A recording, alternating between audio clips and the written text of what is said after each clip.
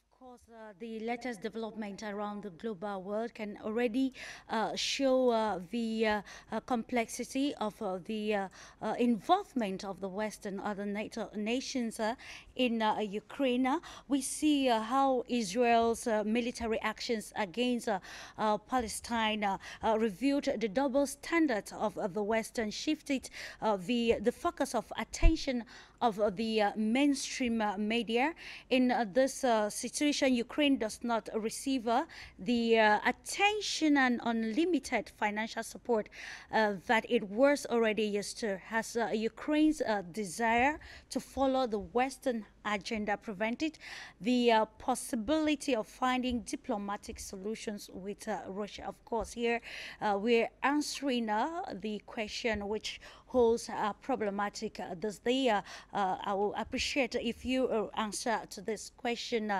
Dimitri. Yes, indeed. Uh, the uh, situation in Gaza has opened an eyes of uh, a lot of our colleagues on what was happening in Ukraine as well, because there are blatant they double standards in the approaches of um, of the West towards the Ukrainian situation and what's now happening in in Gaza. Um, there was a new there was a piece of news, I think several uh, several days ago from Israel that uh, almost 4,000 refugees from from Israel decided to return to Ukraine because they say that it is much safer in Ukraine than in Israel right now.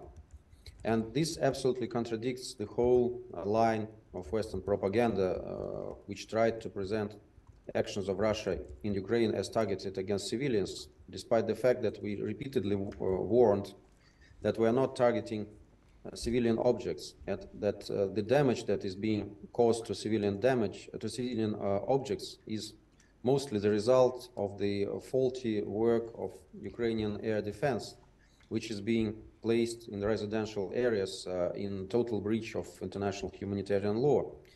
So uh, it turns out to be that the Ukrainian cities, uh, after after almost uh, two years of our special military operation, continue to live uh, more or less uh, normal life. If you browse internet, you will see uh, pictures of nightlife in Kiev, in Odessa, in Kharkov. on the other fact, on the other hand, you will you, you may look at the pictures of Gaza. You will see what kind of devastation uh, is is being caused if uh, the uh, if a country is indiscriminately shelling residential areas and residential zones, as we were as we were accused of doing so in Ukraine, absolutely wrongly and baselessly accused. What's happening in Gaza resembles rather the U.S. tactics in, in Mosul or in Raqqa, uh, which we all remember when the city is almost erased from the surface on the earth. But at the same time, the um, uh, fallout of this, uh, the reaction of this uh, to this from Western media and from Western politicians is very is very mild, is very modest. So uh, it, it's absolutely clear that uh, the West is analyzing the situation in Ukraine and situation in in Gaza through the optics of uh, who is the friend uh, and who is the foe of the West. So if Russia is the foe of the West, then of course it can't be a good country, it can't behave in a good way, whatever it does. Uh, and there is a lot of Western propaganda trying to attribute to us things that we never did.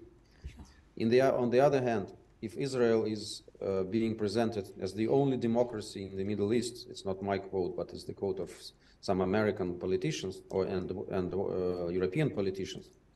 Of course, it's not supposed to be criticized, and its methods are not supposed to be criticized. And we see how the West is implementing these blatant uh, double standards. And I think that uh, the West has lost, lost a lot of credibility after the events uh, in Gaza uh, started, uh, and a lot of people saw their clear parallel uh, with the Ukrainian situation, the, with the way Russia is being uh, treated and accused uh, by the West.